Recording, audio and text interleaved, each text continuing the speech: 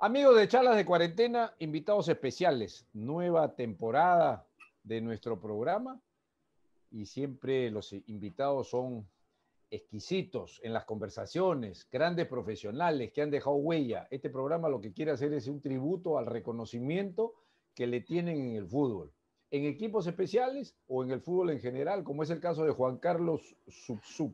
Juan Carlos, un amigo de siempre, conocido, se quedó en el Perú en buena hora.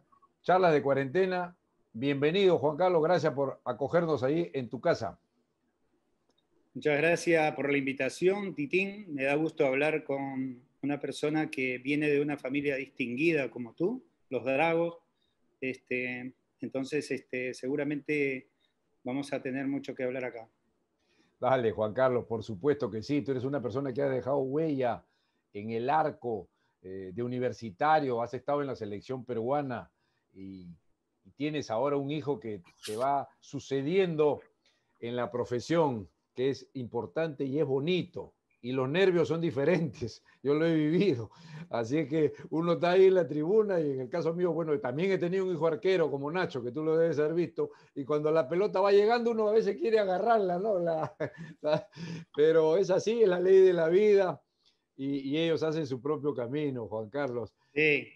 ¿Cómo llega Juan Carlos a, situarse en un arco? La infancia, la juventud, ¿cómo, cómo, cómo la viviste tú entre la época familiar con, la época deportiva? Bueno, de muy pequeño yo en las granjas de los abuelos, donde trabajábamos y vivíamos, este, practicábamos un poco en los potreros, que eran maravillosos ahí, esos potreros y con los vecinos, los chicos de los vecinos, de las chacras vecinas. Y yo ya de chico ya me daba cuenta que quería ser futbolista. Entonces me acuerdo que en la época que, que trabajamos las granjas, este, se araba la tierra con caballo y, este, y la tierra quedaba floja y después yo me acuerdo que terminábamos de arar la, la tierra y este, bueno, me ponía a correr en, esa, en esas tierras flojas como haciendo una pretemporada para sacar siempre más pierna y es lo que me ha impulsado este, para ser arquero, para ser un buen arquero. Corría por todos lados. No, y claro, y son secretos, ¿no? Chumpi también contaba, porque le decíamos, Chumpi, ¿cómo es lo del doble impulso? Y él me decía que cuando era para ir al colegio, cuando era pequeño en la hacienda en Cañete, tenía que cruzar una hacienda porque si no tenía que caminar como un kilómetro más a, llegar a un puente y saltaba a la hacienda y se sentía que se iba a quedar y, y se impulsaba igual tú, tú eres un hombre de reflejos, de potencia físicamente, aparte de la técnica, por supuesto. Son cosas importantes, Juan Carlos, esos secretos de pequeño, esas vivencias.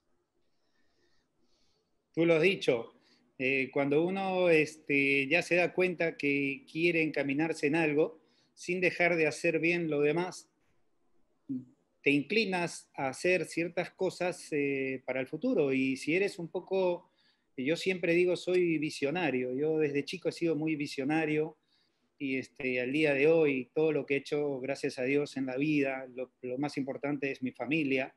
Eh, tengo una familia maravillosa, una esposa maravillosa y este, unos hijos maravillosos también. Ese es el éxito más grande que tengo. Sin embargo, debo decir que eh, todo lo que, en todo lo que he trabajado desde chico lo he hecho teniendo en cuenta una visión, y metiéndole el 100% del esfuerzo. Y eso ha hecho de que yo triunfe en cada cosa que, que, me, proponía, ¿no? Juan Carlos, bonita historia, que es lindo, eso refleja la formación familiar, porque esa tú, tú, la tienes en la sangre, pero te la inculcan los padres, los viejos, los abuelos, las madres. ¿Siempre queriendo ser arquero, Juan Carlos? Yo era arquero y era centro delantero también, era nueve. Porque tú sabes que todos los arqueros siempre, si no, pregúntale a Ramón, a Ramón Quiroga, todos los, este, los arqueros siempre quisimos este, ser goleadores también. De hecho, yo tenía un entrenador en la reserva de Racing que en los partidos de amistoso o de pronto en partidos de práctica me ponía de nueve, porque decía que yo era un goleador nato, pero bueno, yo era arquero de alma, de corazón, yo era arquero y, me divertía bastante en las pichangas de, nueve, pues, ¿no? Pero e, eso que tú dices es muy cierto, porque mira, los arqueros de, que han pasado por el Perú exitosos y sin decir quién fue más ni menos, eh, el loco Ramón, Humberto, con los cuales yo he actuado en las pichangas, esa de los días viernes, se ponían arriba. Miguelón Miranda, que ha, ha, estado contigo en selecciones también, jugaba. Era, es difícil ver a un arquero de oficio, todo, que en una pichanga te juegue en el medio o te juegue atrás. No, no le gusta. No, era imposible. Yo detestaba eso, porque primero que en las pichangas este, te agarraban a pelotazos más que nunca y encima se burlaban de ti. Entonces, esa parte la, la, que queríamos disfrutar nosotros, ¿no? Como centro delantero. Y bueno, Ramón es el abanderado. Yo creo que Ramón, yo a, a Ramón lo he disfrutado mucho más que seguramente a Ballestero. Y sé que Ballestero ha sido un arquero de los mejores de América y del mundo, seguramente. Y este, sí, este, yo creo que ellos han sido los abanderados, este, seguramente también jugando de centro delanteros en las pichangas. Sí, sí, sí. Bueno, han sido compañeros míos. El loco es un espectáculo. Pero, Juan Carlos, cuando después vamos a ver la referencia de los arqueros, que siempre e, es, bonito saber de lo que, lo que piensa un arquero, de las referencias de, de grandes arqueros, modelos. Eso vamos en el otro bloque. Pero ya, Juan Carlos está situado en la infancia, en, esa, en las chacras, bonito, en los fundos, pero ¿cómo llega a unas divisiones menores, a un club? ¿Cómo, cómo llega? ¿En qué momento? ¿Cuál es la primera experiencia ya en un club antes de llegar a, una división juvenil o algo así?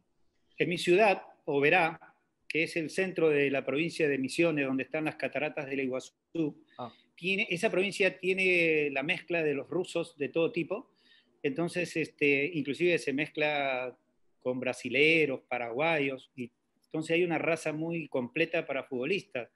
Y en esa época había jugadores de todas las edades extraordinarios, solo que los clubes grandes de, de Argentina no iban a la provincia de Misiones porque quedaban muy lejos a, a, buscar a esos jugadores. Entonces yo jugaba con ellos y si bien es cierto yo era chiquito, yo tendría 10, 12, 14 años, me metía a jugar con ellos y de hecho ellos me dan la oportunidad este, de jugar con los más grandes, no con los, eh, los que jugaban los campeonatos mayores, sino en, los partidos que se hacían de papi fútbol, ¿sí?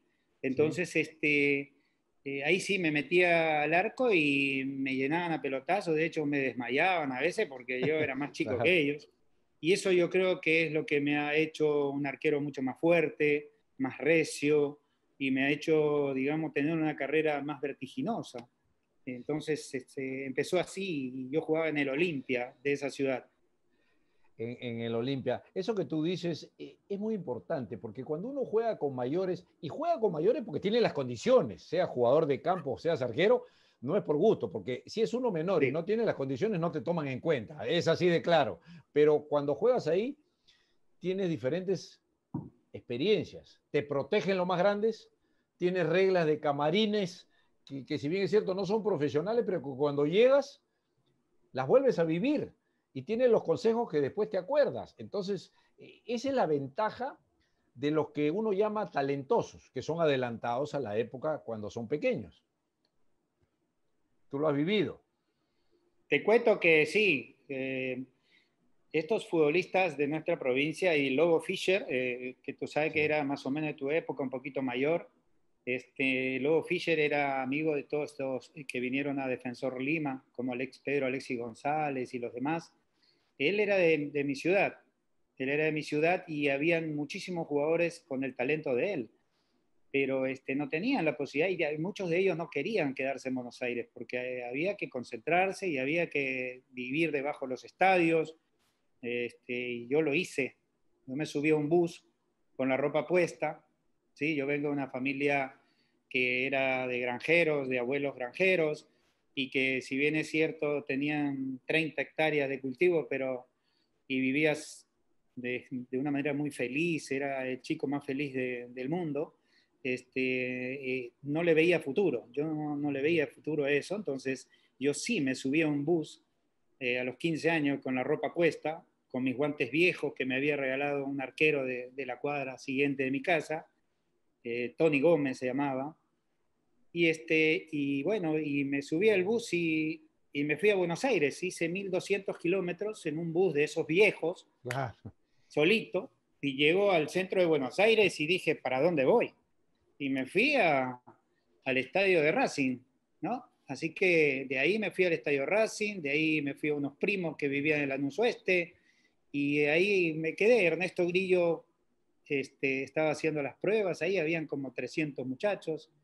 Así que ahí empezó toda mi historia en el Racing. Fue muy vertiginosa mi carrera.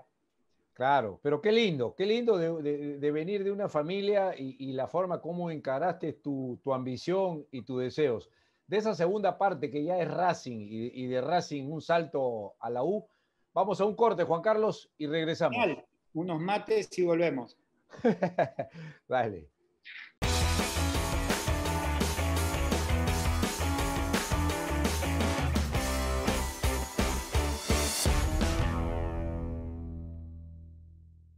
Este 11 de abril, en las elecciones generales, contaremos con horario extendido de 7 de la mañana a 7 de la noche.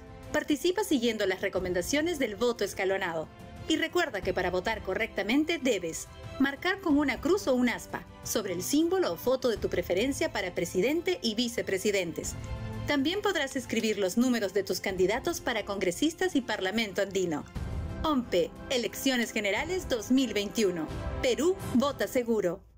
Recuerda que el virus sigue entre nosotros. Si tuviste COVID-19 puedes volver a contagiarte y contagiar a los tuyos. Lo mejor es respetar las medidas de prevención. No dejes de cuidarte.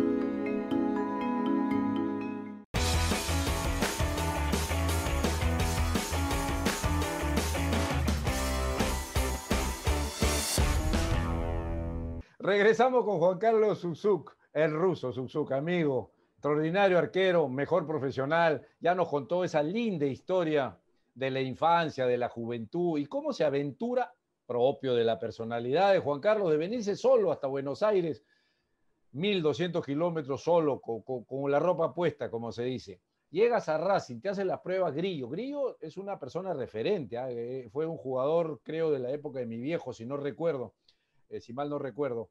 Ya, ¿y cómo pasas la prueba? ¿Cuánto tiempo te sitúas en Racing? ¿15, 16 años, Juan Carlos? Sí, Ernesto Grillo fue un grande de la selección argentina y de Racing Club. Perdón, de Boca. De Boca. Y este, bueno, estaba el Toto Lorenzo, me acuerdo que en el primer equipo, y era una revolución Racing en ese momento cuando llegabas. Y este, se presenta la oportunidad de, de, empezar a entrenar y ahí se, tú sabes que en la época de pruebas con los chicos, este, hacen un solo partido toda la tarde y van cambiando jugadores cada 15 minutos, 20 minutos, 30 minutos. A mí me pusieron a las 2 de la tarde al arco y no me sacaron hasta las 7 de la noche. Y yo decía, ¿por qué no me cambian? Cambiaban a todos los demás, menos a mí, y habían como 200, 300 muchachos, porque era un mar de chicos, ¿no? Era una época de prueba. Así que don Ernesto Grillo, en paz descanse, este, termina el partido y me dice, eh, yo le pregunto, este, bueno, ¿cuándo podría, podría de pronto venir a probarme de vuelta? Me dice, no, usted se tiene que quedar ya debajo del estadio. Yo le digo, no, pero le digo, bueno, yo pensaba todavía este, venir otro día a probarme acá y yo tenía planificado irme a probar a Boca, a River. Yo, fui con una grande bárbaro, porque fui súper preparado. Yo salía a correr, aparte de trabajar todo el día, yo en las noches corría dos horas por, los, por las ciudades que son de subidas y bajadas, y este, con, con algunos compañeros que también jugaban en la ciudad, y este, no paraba de entrenar, entonces yo llegué súper preparado, así que este, yo, te, yo quería probarme en River y quería probarme en Boca, y este Ernesto Grillo me dice, mire, este, por eso no queríamos dejarlo que se vaya, tenemos una habitación para que usted se quede acá, que descanse y, este, y ya mañana venga a entrenar de vuelta con nosotros, ahí le van a dar de comer y se queda con nosotros. Y, yo le aseguro, me dice, yo le aseguro que usted a los 18 años va a estar jugando en la primera de Racing. En River o en Boca también va a llegar, me dijo, pero se va a demorar un poquito más, me dice. Se va a demorar un poquito más. Yo conozco, me dice, esos equipos. Así que bueno, este, yo soy práctico también, ¿sí? No soy tan dudo. Si me dio la seguridad, claro. ya me quedé, pues, ¿no? Ya me quedé y le dije, bueno, este, démosle para adelante. Me fui a dormir esa noche, le digo, déjeme ir porque hay un primo, una familia de primos que viven acá cerca, en Lanús. me dice, pero tiene que regresar, porque si no, los vamos a ir a buscar, déjenos la dirección, le dejé todo. ¿Se aseguró? Al final, sí, al final hablé con mi gente, mis primos ahí, que ahora están viejitos, que son mis padres, mis segundos padres, y me dijeron, quédate, quédate ahí en Racing, ya no vayamos a otro lado. Me dice, ¿qué te vas a ir a probar a otro lado? Si ya te quieren ahí, quédate ahí. Así que bueno, ahí me quedé y eh, ahí empezó una carrera vertiginosa, maravillosa, y empezaron digamos, este, los partidos y creo que mi primer partido fue contra River, ya me pusieron de capitán. Marcelo Estegiano estaba conmigo. Ah. Y así empezó todo. Y, se, y se cumplió lo que dijo a los 18 en primera. ¿Cuándo fue el debut en primera? Sí, la gente, que, la gente como Grillo, que tiene tanta experiencia. Claro. Exactamente a los 18 años yo estaba jugando en primera. Bueno, después me lesioné y tuve la mala suerte de, tener lesiones, pero triple fractura del maxilar y otras cosas. Pero bueno, este, inició mi carrera, ¿no? Claro, y, ya estabas, pero eh, para el conocimiento de muchos hinchas jóvenes y muchachos, Boca, River, Racing, Independiente y por ahí algún otro, Vélez, no sé, son clubes en que un arquero no debuta tan joven. ¿ah? hay escuelas de arquero y están sentadas las bases, así que eso es un mérito adicional a tu carrera. Porque en ese equipo, tú sabes que en ese equipo Juan Carlos jugó mi viejo. Mi viejo en Racing. En por allá por el 47, 48, dos temporadas. Eh, antes que Mifflin, por supuesto, 10 años antes. No, Mifflin, el Cabezón, este, no, Cabezón ha jugado en, los 60, 60 y tantos, pero jugó ahí. Este, mi viejo jugó ahí. Había otro ¿Ah, señor Villalba, Jacinto Villalba, que para la época de mi viejo jugaron ahí. ¿Y tu viejo de qué jugaba, eh? De, de ocho delantero. Antes habían cinco arriba, pues, ¿no? Entonces, eh, claro. Pero jugó ahí. Qué orgullo, ¿eh? qué orgullo eso, ¿eh? Sí, sí, sí. Pero bueno, y después, ¿cuántos años en Racing, Juan Carlos? ¿Cuántos años ahí en la, ya en el protagonismo, en primera? Y algunos compañeros del primer equipo que recuerdas en el debut, esos que siempre te dicen, tranquilo muchacho, no pasa nada. Siempre hay esa frase. Sí, y creo que habré jugado 3, 4 años ahí, eh, digamos, bien arriba, en primera, estuve ahí unos 4 años, quizás 5 años. Este, lo que pasa es que yo llego a primera muy chiquillo y este, bueno, y salgo campeón y me escogen, eh, se hizo un campeonato que se llamaba Proyección 86, lo jugábamos a estadio lleno, en el estadio de Vélez y se televisaba ya, se televisaba ya y en, a colores, ¿eh? no como en tu época a colores ya. y los estadios estaban llenos y eran todos hinchas de Racing prácticamente. Y hemos salido campeones. Y a mí me escogieron el mejor jugador, no el mejor arquero, el mejor jugador del campeonato ese. Y me dieron todos los trofeos habido por haber. Y, y ahí entonces este, enseguida subí a primera y enseguida estuve de suplente en primera y enseguida Pisuti me ha hecho debutar en el mismo estadio de Vélez. Y después jugué algunos partidos he perdido un solo partido de los que he jugado y bueno, y me lesioné. Y ya después pasé a ser suplente de, Filiol. al, tiempo llega el Pato Filiol y ya olvídate, ahí ya este, la peleaba, le prendía el aire acondicionado al máximo en las concentraciones al Pato. yo era su suplente directo, eh, un buen tiempo, más de un año. Y cuando concentrábamos en el hotel, yo le prendía, porque encima éramos amigos, y yo le prendía el aire acondicionado al máximo en pleno invierno para que se agripe bien feo. Para que deje un cachito. Este, sí, y, estaba viejo ya y, no, y nunca se enfermaba. Y lo que sí se despertaba en la madrugada me decía, ¿por qué está haciendo tanto frío? Y yo le decía, parece que han prendido el aire de abajo. Así que así se lo hacía de vez en cuando y este, era muy gracioso y nunca se enfermaba y bueno, llegó un momento que después de estar casi dos años suplente de él o más, de pronto le dije, me voy, Pato, me voy porque tú me vas a hacer lo mismo que le ha hecho Gatti a, Genaro y a sus suplentes, ¿no? Que voy a retirarme, decía el Pato, no te vayas porque la gente te quiere mucho, tú eres... Me han hecho, en Racing, la verdad que me han convertido en un ídolo que yo nunca me lo creí, pero para esa edad cantaban mis canciones, y eh, me adoraban, cada tajada que hacía todo el estadio se paraba a aplaudirme, porque habíamos salido campeones en ese campeonato y esa camada supuestamente tenía que ser la que iba a sacar jugadores para el Mundial 86. Así es. Yo tenía que haber jugado el Mundial 86, pero no se dio. Y este, bueno. Luego vengo rápido a Perú. Exacto, una, una linda etapa. Estás hablando pues de, de ceja, estás hablando de ser campeón ídolo en, en, Racing. Vamos a una segunda y última este, pausa, eh, Juan Carlos, y regresamos para ese último, esa llegada a Perú con tus canciones, el ídolo en la U, y todo. Una pausa y regresamos. Dale.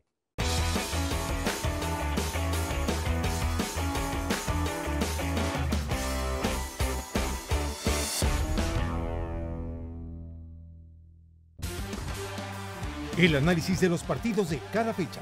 Las voces de los protagonistas en cada cancha. Las polémicas que encienden el debate. Lo encuentras en Tiempo Extra.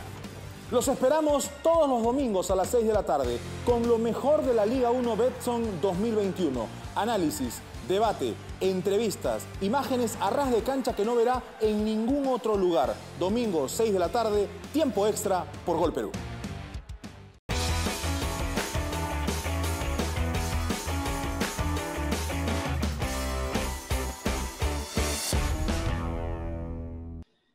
Último bloque, charlas de cuarentena, conversación exquisita, agradable, llena de anécdotas y de, vivencias. Ese éxito que tienes con, con Racing, mejor jugador en este campeonato de aspirantes, llamémoslo así para que lo entiendan, has estado listo para ser convocado a una selección de ese equipo campeón del mundo, el 86, con Bilardo, con Maradona. Pero vienes a Perú, Canciones allá, llegas acá y te metes a la hinchada de la U en el bolsillo, Juan Carlos. Una larga existencia deportiva en universitario. Conversábamos fuera de micrófono. Si no eres, debes estar entre los cuatro o cinco jugadores que tienen extranjeros, que tienen más partidos en universitario, Juan Carlos. Bueno, sí, empezando por lo primero, sí, este, en Argentina yo tenía que haber sido, pero la palabra tenía muchas veces no hay que tomarla en cuenta, ya fue. Pero sí, este, me acuerdo que inclusive Bilardo, que era el técnico de la selección, citó a Pumpido, a, Comiso y a Suxub para ir a Toulon, Francia. Y al final el que se quedó afuera fui yo. No llegué a estar en la selección, pero sí me, ya me empezaron a tener en cuenta este, a los 19 años, más o menos 20 años, para una selección ya de mayores. Entonces, como que eso quedó picando ahí y después, este, como te contaba hace un ratito, que también estos este, exfutbolistas como Pisuti, Cejas, eh, Rogelio Domínguez y todos ellos, y Cárdenas, el que hizo el gol para ser campeón del mundo, todos han sido gente que, con las cuales yo he convivido en el día a día y hemos vivido, este, digamos, cenas con ellos y conversaciones constantemente, y eso te hace crecer como ser humano. Claro, eh, te hace crecer como ser humano primero y uno va captándole la, eh, dos frases, tres frases, y si estás paradito en una cancha, ves hasta cómo se, hasta cómo se para y aprendes de todo. Y, de los, y de los arqueros, Juan Carlos, en todo lo que has visto, que te hayan enseñado, que hayas convivido, dame tres, cuatro nombres que tú digas, estos han sido, digamos, arqueros a los cuales yo admiro. No necesariamente tu estilo, pero que tú has aprendido de ellos. Bueno, la verdad que a mí siempre me fascinó y al día de hoy, si tú pones, entra a internet y pones este, atajadas de Dazayev, de, los arqueros rusos, este, te vas a dar cuenta que esos arqueros han sido eh, adelantados. Este, si tendrían que jugar hoy, jugarían y serían grandes y extraordinarios arqueros también. Y, este, y bueno, yo me inclino por ellos y también, bueno, por el patofiliol, con el cual estuve bastante y lo escogen siempre como uno de los mejores del mundo. Este, decir que es el mejor del mundo, este, hay demasiados buenos arqueros como para decir que es uno solo, pero después tenemos a Oliver Kahn, que sabemos que son arqueros que son fantásticos, este, el arquero brasilero, este, el, arquero que, que, está ahora en Barcelona, este, hay un sinfín de arqueros que para mí son extraordinarios y a todos los veo y digo, ¿cómo pueden hacer eso?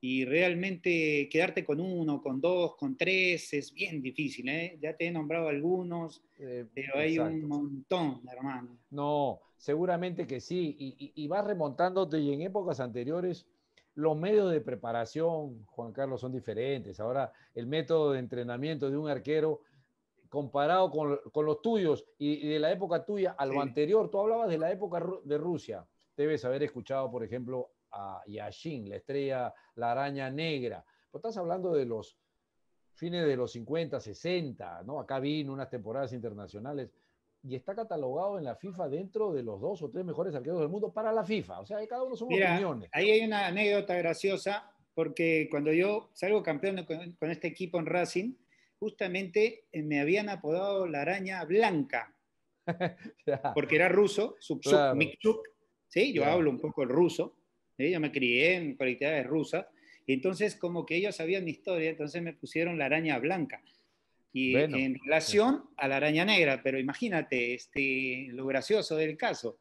Este, y sé que, que Yashim este, ha sido, si no el mejor, junto al Pato Filiol, este, bueno, Testegen y tantos otros, hacen, hacen que, que uno se ponga a pensar que, que, bueno, que el arquero tiene que superarse constantemente para que sean más que ellos, pues, ¿no? Los de hoy en día. por supuesto. Y mira, de- hablando así como fluye la conversación, tú hablas de la escuela rusa, yo te menciono ese, y sale una anécdota lindísima, y no es para menos, no es poca cosa, Juan Carlos, hay que estar No. orgu- orgulloso de eso.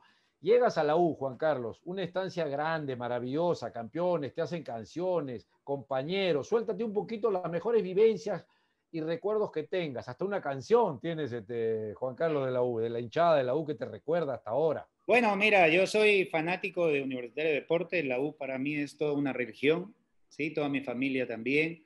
Yo soy una persona simple, práctica y entregada al 100% y desde que pisé el Perú me volví hincha de la U a muerte y daba la vida en cada jugada, seguramente como muchos.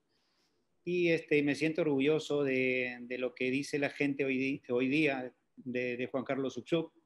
Este, la verdad que no me creo nada porque ahí está la magia de la persona.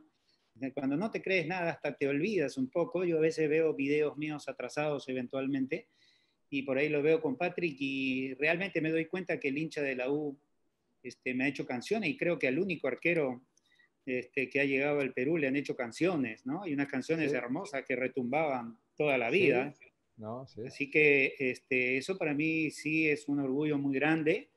Y, este, y como alguien dijo, este, cada ser humano va escribiendo un libro y todo tiene un comienzo, una continuidad y un final. Y el final de, de tu libro, el tuyo, el mío, el de todos, debería ser un, un final, digamos, muy bonito, muy, muy importante, muy lindo para dejar un mensaje eh, a la juventud y en especial al, a la familia, a los nietos, a los hijos, pues, ¿no? Que por ahí pasa el tema, el tema del esfuerzo primero, ¿no? Exacto. Y, y ese final feliz, estamos llegando al final del programa, pero Sí. para mí ha sido un gusto, porque ha sido una trayectoria linda. Tú eres una persona muy querida, inclusive nacionalizaste peruano, compartimos una selección, yo en el cuerpo técnico, podríamos Sí. conversar una hora más.